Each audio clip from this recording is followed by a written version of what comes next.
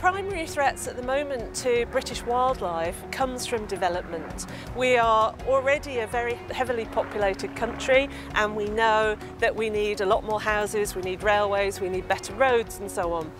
And every time there's development like that, there's inevitably some impact on wildlife. So one of the things that we're doing is doing a good practice guidance series for those people who are working directly in those kind of environments. And we've already produced one for water voles and we have others forthcoming for badgers, for dormice and for otters. These documents have been put together with input from all the different interested parties and are endorsed by the government agencies so we know that they will in a very practical way influence what's happening on the ground with Britain's mammals. This and many other ways of getting involved can be found at mammal.org.uk.